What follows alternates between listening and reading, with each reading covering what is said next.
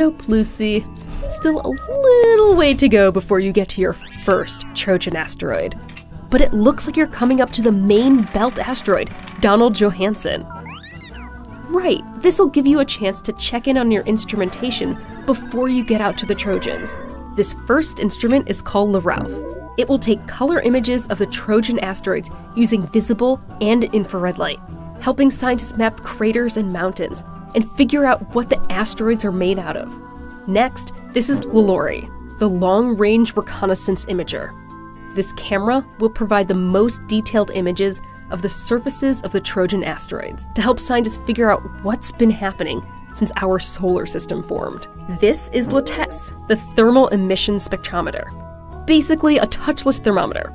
It will measure the temperatures on the Trojan asteroid's surfaces to tell scientists whether the surfaces are rocky or dusty. Lastly, you couldn't get the job done without your tracking cameras or the T2 cams to make sure the asteroids are always in view. And the high gain antenna that lets you communicate with Earth. The scientists back at home will use your radio signals to measure the mass of each asteroid as you fly past it.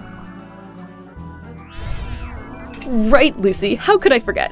You also have two huge solar panels to give you electrical power as you fly out to the Trojan asteroids. Farther from the sun than any previous solar powered mission. Just a bit longer now before you get to your first target.